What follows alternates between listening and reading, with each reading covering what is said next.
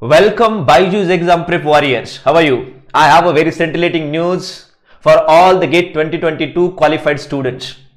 The Mangalore Refinery and Petrochemical Limited, which is a subsidiary of ONGC Oil and Natural Gas Corporation of India, has declared the vacancies for assistant engineer and assistant executive engineer for E2 cadre that application form online application form in the portal will get open on 17th december 2022 while the last date of submission of online application form is 15th of january 2023 and these vacancies are only for the student who qualified gate 2022 it is not for 2021 gate or it is not for 2023 gate. Please note down that and whatever the, the vacancies are declared, that vacancies for chemical engineering is 28 vacancies, mechanical 24, good vacancies are there, for civil engineering 2, electrical 7, instrumentation 11, computer science 5.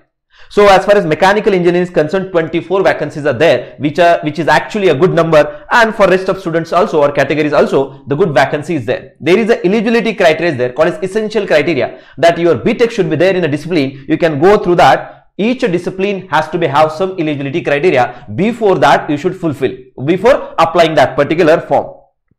Now the detailed the vacancies according to the the reservation categories are given. For mechanical engineering unreserved categories have vacancies 10 and so on. You can check this table and understand what is the vacancy according to the categories given. Now there is always a maximum age limit is there before you applying online. So the maximum limit, maximum age should be 27 years for unreserved categories and for other categories there is a certain relaxation is given.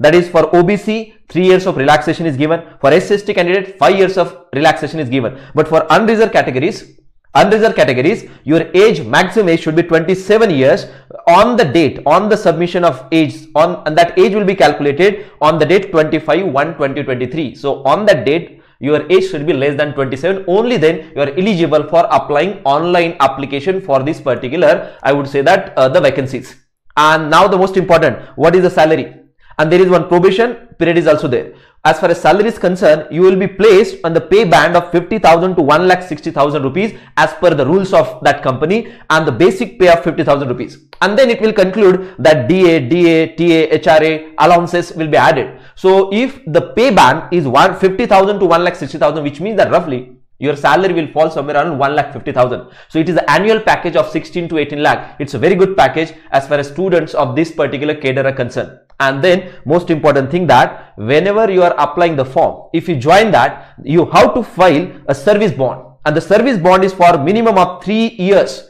That is called as bond. You cannot break the bond in between the three years. So minimum you have to appear or serve that organization for minimum three years if you break the bond there will be a penalty that bond amount for general category is 3 lakh and bond amount for other categories is 50,000 rupees so please mark the note mark the dates 17th of december the online application portal will get open and 15th of January, the portal will get closed. Wish you all the luck, get succeed in your life. Thank you everyone.